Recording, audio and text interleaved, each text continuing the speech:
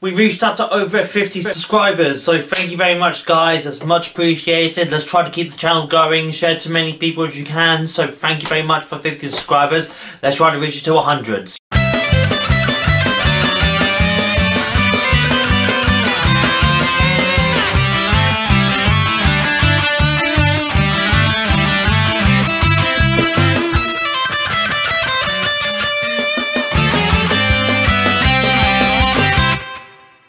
Hello and welcome to the Meg review. The Meg stars Jason Statham as some guy. He finds out that this bottom of the ocean has uh, is filled with like this giant shark. And so what it basically is that Jason Statham finds a shark, it comes out, starts attacking a lot of people, and we have our movie.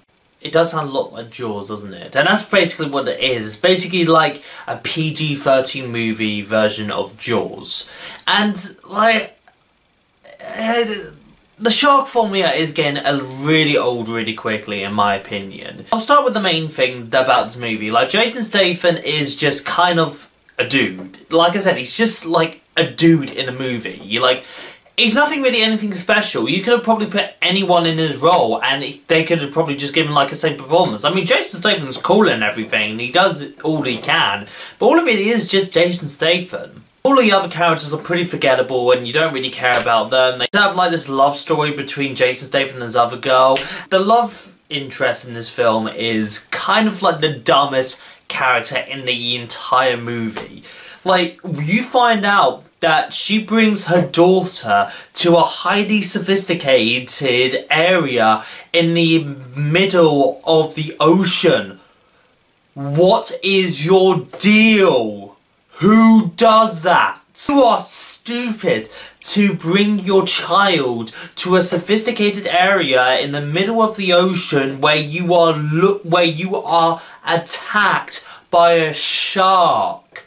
For someone that used to work as a health and safety provider for children, I was completely baffled by this self-aware from this mother. And every time someone dies with a shark, it's done in the most PG-13 way possible. Like, they always die off-screen. You never really see, like, an arm limb or, like, a leg limb.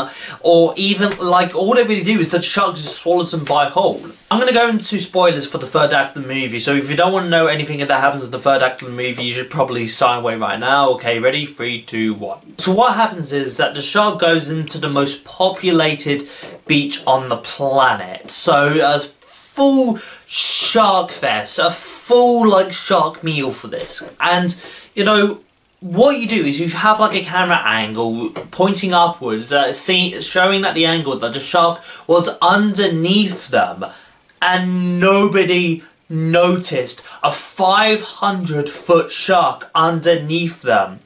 How can you not see a 500 foot shark underneath you? In fact, how can a 500 foot shark fit in the most populated beach on the planet? How is that possible? This movie is really, really unaware of logic.